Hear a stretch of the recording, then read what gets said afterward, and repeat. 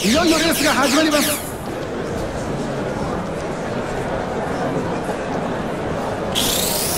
シグナルに注目。マシ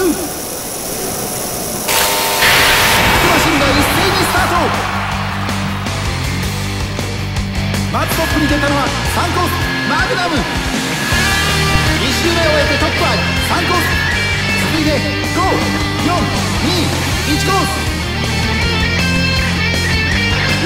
中盤戦現在トップは3コーストップと2位の差が少しずつ開いてきたこのまま突き放していく展開となるのか横周回遅れでリタイアだ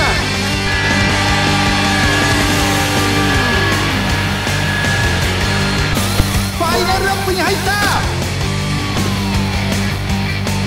トップが最終セクションを抜ける。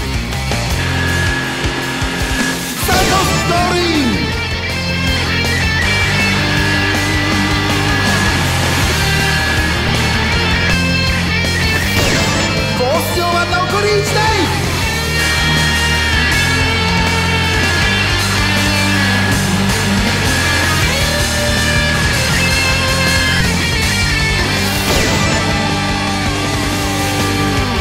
事勝利したのはスタート。